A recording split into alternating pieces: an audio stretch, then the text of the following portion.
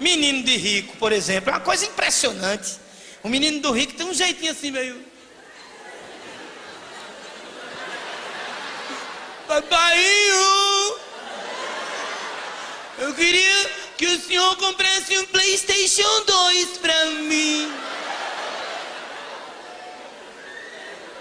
O menino de pobre chega pro pai e faz: Pai, eu que passo.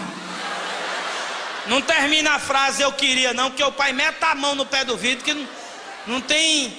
No vocabulário do menino de pobre não tem o verbo querer, não.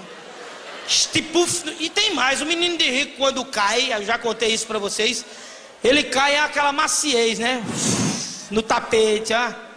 Menino, quando é um menino de pobre caindo, naquele cimento encerado com cera de carnaúba, bate a cabecinha do tamanho da de Shaolin, assim, bate no chão que ecoa, parece, parece que caiu dentro de uma igreja.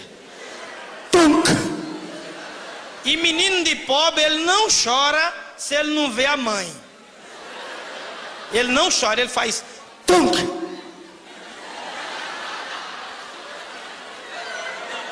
procurando a mãe. Aí dá uma carreirinha. Encontrou a mãe.